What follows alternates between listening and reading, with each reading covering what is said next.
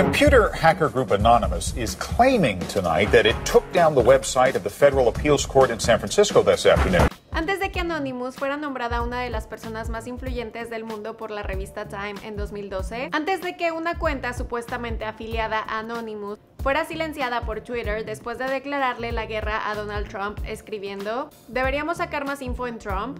Antes de que Anonymous resurgiera a raíz de las violentas protestas por la muerte de George Floyd debido a la brutalidad policial, prometiendo exponer al mundo los muchos crímenes de la fuerza policial de Minneapolis, Officers who kill people and commit other crimes need to be held accountable just like the rest of us, otherwise, they will believe that they have a license to do whatever they want. Sinceramente tenía muchas ganas de hacer este video. Anonymous en general me parece bastante interesante y pienso que era necesario hablar un poco más acerca de este grupo hacktivista que como su nombre lo dice es anónimo. No se sabe quiénes lo integran y ha hecho bastantes titulares desde su inicio cuando anunció sus intenciones al mundo con el siguiente lema. Somos Anonymous, somos Legión, no perdonamos, no olvidamos, espéranos. Han participado en varias protestas y aunque inicialmente fueron atacados por los medios de comunicación, la reputación del grupo ha cambiado con los años. Algunas personas los consideran el personaje tramposo de la trama y por tramposo me refiero a que no es ni el bueno ni el malo pero es el personaje que señala las contradicciones que hay en la historia. Este personaje inicia un cambio y hace que la trama avance.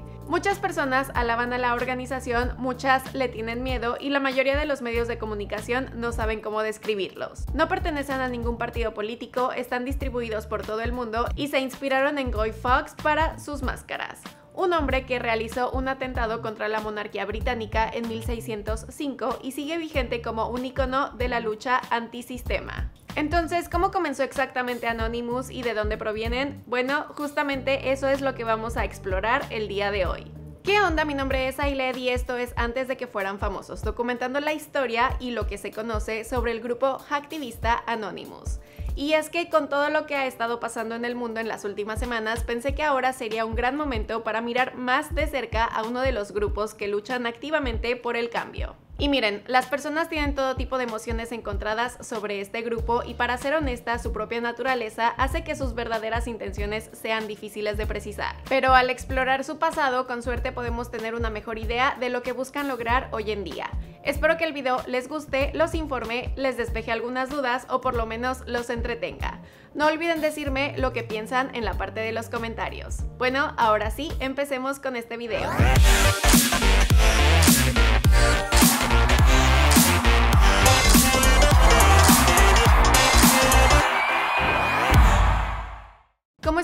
Entrando en historia aquí, tendremos que comenzar en el año 2003 con 4chan.org, una comunidad donde cualquier usuario puede publicar un texto o una foto relacionada con un tema. A diferencia de lo que ocurre con Facebook u otras redes sociales o comunidades en línea, los usuarios no necesitan identificarse para dejar una imagen o un comentario, por lo que aparecen como Anonymous, y nuestro grupo de hacktivistas se inspiró en este anonimato para su nombre, ya que este nombre representa en una sola persona a toda una comunidad con el mismo propósito. Y lo que empezó como solo diversión se transformó. En algún punto de la vida que se perdió en su historia no registrada, Anonymous obtendría identificaciones de Internet y llegaría al resto de la red usando herramientas tecnológicas de coordinación social para atacar colectivamente objetivos por cualquier desacuerdo que hubieran tenido.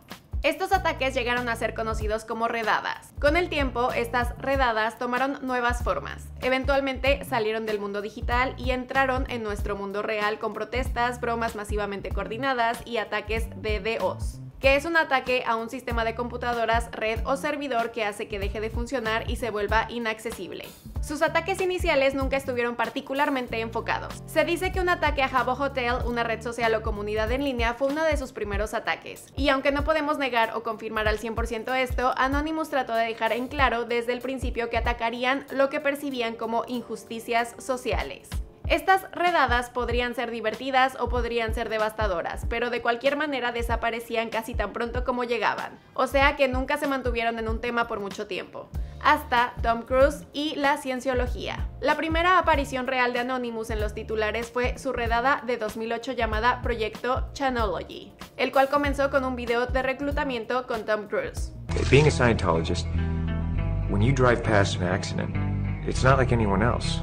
As you drive past, you know you have to do something about it. Después de que la Iglesia de la Cienciología decidió que el video finalmente los pintó con poca luz, lo eliminaron de internet, pero Anonymous tenía ideas diferentes. Tan pronto como la Cienciología derribaba el video, Anonymous encontraba una manera de volver a colocarlo. Las oficinas de Cienciología se vieron inundadas de faxes negros, pizzas que no habían sido pedidas y llamadas de broma tras llamada de broma. Después de aproximadamente una semana de esto, el 15 de marzo de 2008, Anonymous realizó una protesta y los medios de comunicación comenzaron a retomar la historia escribiendo cosas como Anonymous protesta contra la cienciología. El grupo de internet llamado a sí Anonymous sostuvo una segunda protesta masiva frente a las diferentes ubicaciones de cienciología en el mundo. Cerca de 200 manifestantes en disfraces y máscaras de Guy Fox llegaron a Center City, Filadelfia para protestar contra el estatus excluyente de impuestos de la cienciología. You know, the fact, uh, the fact of the matter is, because you know, for what the church is doing to its members and to people that come in, and the abuses that it portrays, uh, that it does, We don't think that's fair, we don't think it's legit, and we think it needs to stop immediately. En lugar de enviar un comunicado de prensa, Anonymous grabó un video de YouTube con imágenes y sonidos siniestros. Hello, leaders of Scientology. We are anonymous. Over the years, we have been watching you, your campaigns of misinformation, your suppression of dissent, Con eso nació un movimiento, uno que ha sido extremadamente activo desde entonces.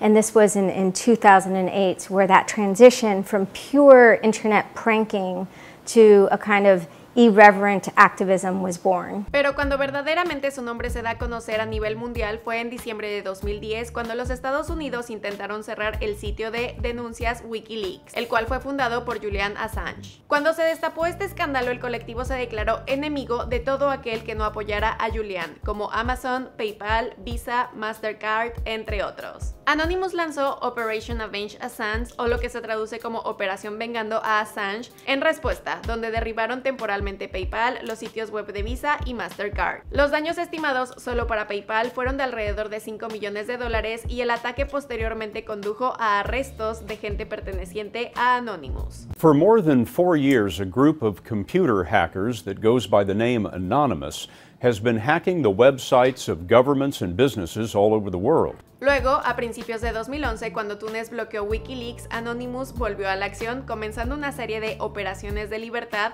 o la Operación Tunisia, que apoyaban a los manifestantes de la primavera árabe en Egipto, Siria y otros lugares. Se le llama primavera árabe a una serie de manifestaciones organizadas por la población árabe que buscaba democracia y derechos sociales, y que tristemente no terminó como se esperaba, pero ese es otro tema. Hablando sobre este momento en el tiempo, Peter Fain, un ex miembro de Anonymous, dijo, no realizamos una campaña en Twitter para llamar a nuestro senador, ni hicimos que Hillary Clinton le pidiera a Obama que le dijera al entonces presidente egipcio Hosni Mubarak que volviera a encender su internet. Corrimos 500 líneas de modem, enviamos spam por fax con tratamiento para gases lacrimógenos, porque lo único que funcionaba eran los teléfonos fijos. El hecho de poder tomar acciones directas, eso es lo que es tan irresistible. Ayudaron a empoderar al pueblo tunecino al proporcionarles las herramientas y la información adecuadas y necesarias para luchar contra el gobierno y provocaron un levantamiento masivo que finalmente derrocó a la dictadura. Um, when things started to get a little crazy in Egypt, we moved into a bit more of a, a proactive role. Um, we uh, were very active, Tunisia, Egypt, Libya, Syria, um, trying to keep the internet running in these countries in the face of uh, really almost overwhelming efforts by uh, governments to, to shut them down. Las cosas llegaron a un punto de ebullición poco después cuando el CEO de HBO Gary Federal, Aaron Barr, afirmó haber identificado a los líderes de Anonymous y prometió compartir esta información con el FBI. Si bien la información finalmente resultó ser bastante dudosa, fue suficiente para llamar la atención de Anonymous, quien le contestó a HB Gary de la siguiente manera. False. You believe that you can sell the information you found to the FBI. False. Now why is this one false? We've seen your internal documents, all of them, and do you know what we did? We laughed. Atacaron los sitios web de HB Gary y bloquearon sus servidores exponiendo más de 70.000 correos electrónicos, incluyendo un montón de argumentos dudosos como que la compañía participó en el creciente complejo industrial de criptointeligencia aprovechando la inseguridad estadounidense después del 11 de septiembre. Otras operaciones de justicia social incluyeron lo que pasó en Steubenville, Ohio en 2013. El caso involucró a una niña de 16 años que fue violada en una fiesta por dos jugadores de fútbol de la preparatoria local. Estos tipos le tomaron fotos mientras estaba desmayada y la molestaron sin piedad en las redes sociales. Anonymous llamó la atención sobre este caso y lanzó un video donde dijo que tenían todos los documentos de las personas involucradas y sus familias, nombres, direcciones, fotografías, todo. Y lo harían público a menos que This docs will be released unless all accused parties come forward by New Year's Day and issue a public apology to the girl and her family. Como les dije, este es un grupo que está activo en todo el mundo. En 2016, un caso similar al de Ohio sucedió en México cuando un grupo de sujetos de una banda denominados Los Porquis violaron a una niña en Veracruz. Como eran hijos de funcionarios públicos de este estado, las autoridades se estaban haciendo los ciegos y Anonymous apareció con un comunicado en donde dijo Ustedes disfrutaron de su asqueroso juego. Destruyeron una familia. Destrozaron una vida.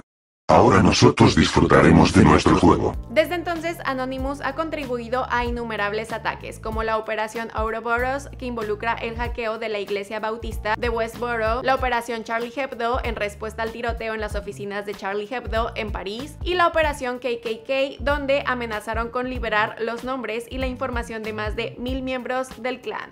Quien quiera que sean y estén donde estén, con suerte, Anonymous continuará usando sus poderes para el bien en lugar del mal. Pero aquí está la cosa, Anonymous no es tanto una organización, es más una ideología.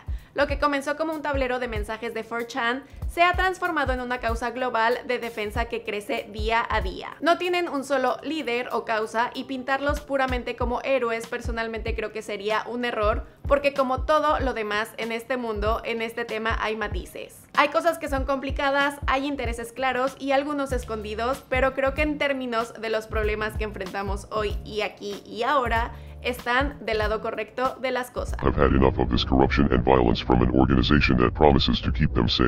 En cuanto al resto de la historia, bueno, creo que es una historia que se sigue y seguirá desarrollándose, así es que por el momento lo dejaré aquí, porque después de todo esto es antes de que fueran famosos.